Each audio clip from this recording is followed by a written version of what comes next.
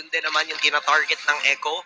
Nagiging successful sila doon sa mga attempt nila kanina. Pero this time, na meron na nga items yung mga members ng Bren, eh mahirap na nga talaga silang patumbahin. Lalo-lalo na yung mobility pa na meron ang isang Moscow Oo, sa uy. Fort Uy, Iba parang iba yung gustong gawin. Uy, naku, parang nakita ko na tong paikot na rotation. ay, ay.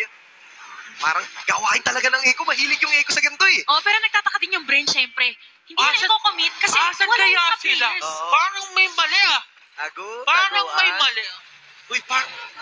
Ano mo sila dito? Sama-sama na sila. Oo, hinahanap na ni Joy Boy. Nag-iikot na si Joy Boy. Ang ganda nito. Pati si Sanji ah. Nandito. Pero kasi... Ang tanong dito... Uy, may re-recta Uy. sa base! May re-recta sa base! I-re-rectahin nila! May call dito yung Echo! May base lock na! Pero may immortality gagawin! Mukhang hindi Ayan, na! kaya na! Kaya na! Wow! The heist! The heist of the week! Ladies and gentlemen, Steve